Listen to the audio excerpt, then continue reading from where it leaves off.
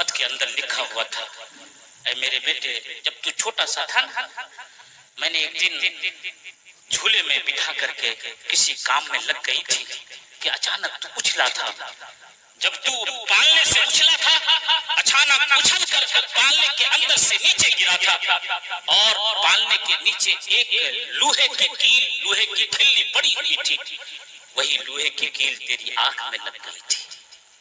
अरे मेरे बेटे जब वो लोहे की किल्ली तेरी आँख में लगी थी तो मैं जल्दी से तुझको उठा करके अस्पताल में लेके गई थी। और डॉक्टर के पास पहुंचकर मैंने डॉक्टर से कहा था है डॉक्टर, मेरे बेटे की आँख में चोट लगी है, मेरे बेटे तेरी आँख से खून बह रहा था। जब डॉक्टर ने तेरी आँख की तपास की, तलाश किया, आँख को देखा तो डॉक्टर ने कहा था कि खातून तेरे बेटे की आँख की रोशनी जा चुकी है, अब ये ज़िंदगी भर कभी भी देख नहीं सकेगा। उस खातून ने खत में लिखा था है मेरे बेटे, तुझे पता है? जब डॉक्टर ने ये बात कहा था, ये सुनकर मेरी हालत यूँ हो गई थी गोया कि मेरी सारी तमन्नाएँ खाकर खून में मिल गई है। मैंने डॉक्टर से कहा था है डॉक्टर मेहरबानी कर। अगर कोई तरीका हो तो मेरे बच्चे की आँख को, मेरे बेटे की आँख को ठीक कर दे। डॉक्टर ने कहा था, खातून, तेरे बेटे की आँख ठीक नहीं हो सकती है। सिर्फ़ एक ही तरीका है कि तेरे बेटे की नई आँख डलवानी होगी। तो खातून कहती है, उसमें लिखती है, बेटा, जब डॉक्टर ने कहा था कि तेरे बेटे की नई आँख डलवानी होगी, मैंने कहा था ए डॉक्टर जितने पैसे चाहे ले लो, मेरे बेटे की नई आँख डाल दो। मैं कीमत देने के लिए तैयार हूँ, लेकिन डॉक्टर ने कहा था खातून यहाँ आँख के बदले में कीमत नहीं। तवज्जो का ताल्लुक यहाँ आँख के बदले में कीमत नहीं, बल्कि आँख के बदले में तुम्हें अपनी आँख देनी पड़ेगी, तब हम इस बच्चे की आँख नहीं डाल सकेंगे। खातून लिखती है, कहती है, बेटा, तुझे पता है? फिर मैंने फ़ौरन डॉक्टर से कहा, था डॉक्टर ताखिर न कर, जल्दी कर, मेरी आँख निकाल ले और मेरे बेटे की आँख मैं डाल दे। अल्लाह अकबर, डॉक्टर ने मुझसे कहा था खातून, तेरी ये हंसती खिलती ज़िंदगी है, मुस्कुराती हुई ज़िंदगी है, क्यों अपनी आँख बेटे को देख करके दे करके तू क्यों जो है अपने वजूद में ऐब पैदा करना चाहती है? तो ऐ बेटे, मैंने डॉक्टर से कहा था, ऐ डॉक्टर, अब इस आँख का क्या करना है? इस आँख का क्या करना है? इस आँख की आँख किस काम के? मेरे शोहर भी मौजूद नहीं है, मेरे शोहर का साया भी सर पे नहीं है। मेरी ज़िंदगी की जमा पूंजी जो है, यही मेरा एक बेटा है। अगर ये माजूर हो गया तो फिर मेरी ज़िंदगी की जो लज्जतें हैं, वो सारी लज्जतें, ज़िंदगी का जो मकसद है, वो खत्म हो जाएगा। इसलिए मैं चाहती हूँ डॉक्टर, कि मेरी जो है, मेरा बेटा जो है, इज़्ज़त के साथ जी ले अगर ये मासूम हो गया और लोगों ने मेरे बेटे को अंधा कह करके पुकारा, अगर इसने होश संभाल ली और फिर लोगों ने मेरे बेटे को अंधा या काना कह करके पुकारा तो फिर मेरे बेटे की खुशियों की जनाजा जो है निकल जाएगा। इसलिए मैं चाहती हूँ कि मेरी आँख निकाल ले और मेरे बेटे की आँख में डाल दे। फिर उस खातून ने खत में लिखा था मेरे बेटे, ये मेरी आँख के अंदर जो है ये जो ऐप हुआ है, ये मेरी वजह से नहीं है ये आग नहीं टूटी है, बल्कि जिस आग की वजह से तूने माँ से रिश्ता तोड़ा है, जिस आग की वजह से तूने माँ का रिश्ता तोड़ा है। बेटा, इसी आग को मैंने निकाल करके तेरी आँख में डाला है और आज तू दोनों आँखों से देख लेकिन उस खत में, उस खातून ने लिखा था, बेटा जब ये खत तुझ तक पहुंचेगा, लेकिन अब तो मैं इस दुनिया से जा रही हूँ, सिवाय पछताने के तुम्हें कुछ भी नज़र नहीं आएगा। लेकिन उसने तंबीहन लिखा था, बेटा, आज के बाद अपने दिल से माँ की नफरत को निकाल देना। तू माँ की ममता को माँ के जिगर को माँ के दिल को समझा नहीं। उसने खत पढ़ा खत पढ़ने के बाद माँ के घर की तरफ़ उसने दौड़ लगा दी। वहाँ पहुँचा, लोगों ने बताया, तेरी माँ तो कब्रिस्तान में है, कब्र में लेटी हुई दौड़ के कब्रिस्तान गया और कब्र से जाकर के लिपट गया। लिपट कर रोने लगा, माँ, मुझे माफ़ कर दे, मेरी खता हो गई, गलती हो गई। जब सिस्किया बाँध कर बेटा रोने लगा ना, माँ माँ हुआ होती है। माँ की ममता का कोई जवाब नहीं है।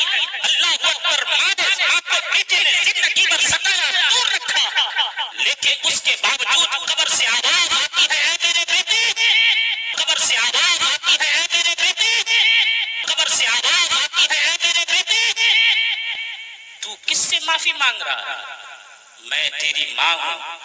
मैं बरसों से तेरा रास्ता तकती रही तकती रही। तू आज आया है अगर बरसों पहले भी आता तो मैं तुझे माफ़ कर देती। आज ही माफ़ कर। ये माँ की ममता हुआ करते हैं। तो मेरे अज़ीज़ दोस्तों, माँ की इज़्ज़त किया करो, बाप की कदर किया करो। तो सर, अगर ये किसी का कॉन्सेप्ट है ना तो उसको कुरान की अली बे नहीं पता। जनाब, अगर ये मामला होता तो अंबिया और किताबें आती। वो असल में ये बताना चाह रहे हैं कि अल्लाह ताला के पैगंबर झूठे थे, नाउजबिल्ला, उनके साथ जो किताबें नाजिल हुई, ये इसमें जो वईदें आई हैं कि जो नाफरमान है, उनको दोजख में झोंका जाएगा, ये सब का सब झूठ है।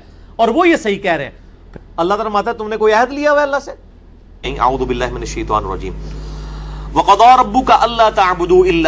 और तुम्हारे रब ने यह बात तय कर दी थी कि मत पूजना किसी को सवाए उसके। पहली कवान थी तोहीद। दूसरी वबिल वालिदैन एहसाना। और माँ बाप के साथ एहसान करना। कुरान हकीम में कम से कम चार मकाम पे तोहहीद के फ़ौरन बाद अल्लाह ताला ने माँ बाप का ज़िक्र किया। और उसका जरबा सनाम एपेक्स ही है। सूर्य बनी इसराइल। इससे ज़्यादा कहीं नहीं डिटेल आई है, और ना सेंसिटिविटी का लेवल इम्मा यबलुगन्ना इंदकल किबर। अगर वो पहुँच जाए, तुम्हारी मौजूदगी में बुढ़ापे की हालत को। अहादुहुमा औ किलाहुमा। चाहे दोनों में से एक, चाहे दोनों। फला तकुल्लहुमा उफ। उनको उफ तक भी मत कहना। उफ की ट्रांसलेशन पंजाबी में हो सकती है। हाँ।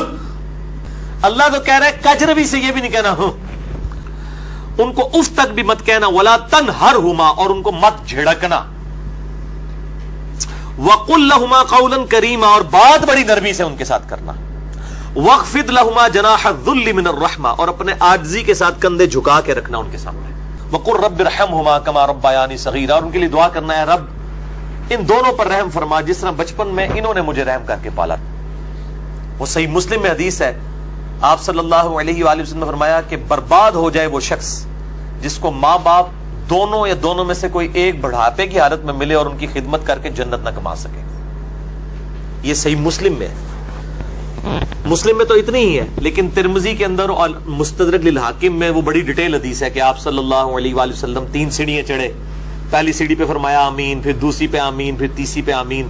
पूछा गया तो आप फरमाया कि जबरील इस्लाम आए थे, उन्होंने कहा कि आप अल्लाह के रसूल वसल्लम मेरी दुआ पे आमीन कहें कि बर्बाद हो जाए वो शख्स जिसके सामने आपका ज़िक्र हो और वो आप पर द्रूशीफ न पड़े। अल्लाह मोहम्मद मोहम्मद। तो मैंने कहा, आमीन। फिर उन्होंने कहा कि बर्बाद हो जाए वो शख्स के जिसको माँ बाप ये दोनों दोनों या दोनों में से एक को बुढ़ापे की आदत मिले, उनकी खिदमत करके वो जन्नत तक कमा सके। मैंने कहा, आमीन। और तीसरा, बर्बाद हो जाए वो शख्स जिसको रमज़ान का महीना मिले और वो अपनी मफफरत ना करवा सके। आपने फरमाया आमीन। डरते रहना चाहिए क्योंकि तोहहीद के बाद कुरान हकीम में कम अज कम चार जगह अल्लाह तला ने माँ बाप के हक का ज़िक्र किया और जन्नत और दोजक डिपेंडेंट हो गई है। ठीक है जी इस हवाले से। तो बहुत एहतियात करनी चाहिए।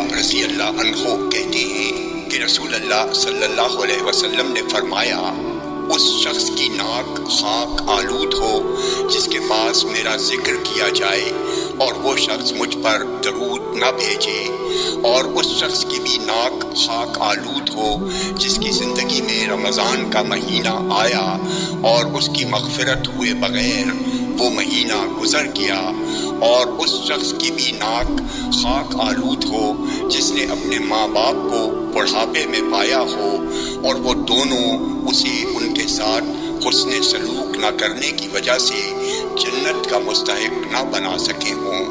रावी अब्दुलरहमान कहते हैं, मेरा ख्याल ये है कि आपने दोनों माँ बाप कहा या ये कहा कि इनमें से किसी एक को भी बुढ़ापे में पाया और उनकी खिदमत करके अपनी मगफरत ना करा ली हो।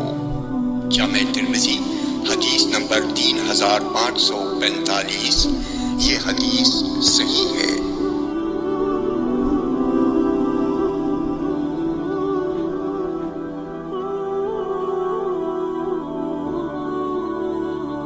बिन जुंदब रज़ी अल्लाह ने बयान किया कि नबी करीम सल्लल्लाहु अलैहि वसल्लम ने फरमाया मेरे पास गुजशत रात ख्वाब में दो आदमी आए। उन्होंने कहा कि जिसे आपने देखा कि उसका जबड़ा चीरा जा रहा था, वो बड़ा ही झूठा था, जो एक बात को लेता और सारी दुनिया में फैला देता था। क़यामत तक उसको यही सज़ा मिलती रहेगी। सही बुखारी, हदीस नंबर छः हज़ार छियानवे।